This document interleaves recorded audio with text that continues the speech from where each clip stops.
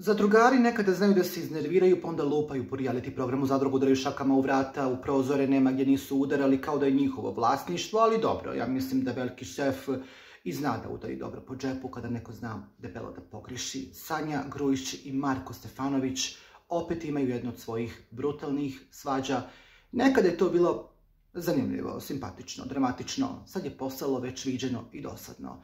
I nadamo se da više neće ovakve neke kikseve praviti, s obzirom da narodu nije zanimljivo gledati njihove svađe, jer dovedu nidok. Svako jutro mi pravi neke scene, ne znam koji ti je k više urlao je Marko, opet udara u vrata, komentarisao je Aleksić Ša i rekao da Marko opet je počeo da šaketa vrata. Dobro bolje vrata nego nekog drugog. Sanja je samo sedla za stolom, čutela i posmatrala situaciju. Daj, nemoj više ta vrata, govorili su za drugari, a Marko je bio i više nego pjesan. Njihova veza je jako dramatična i kompleksna i mislimo da će se možda vremenom to se smiriti, da će doći na svoje, a za sada situacija je dramatična. Da li će njihova veza preživjeti i na polju, e to ćemo tek da vidimo.